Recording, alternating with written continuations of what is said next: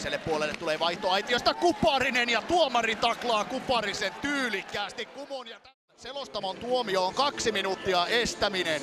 Kuparinen tulee kovalla vauhdilla siinä Salmiseen päin ja Kuparinen yli 90 kiloinen pelaaja lentelee varusteet päällä jäähän. Salmi...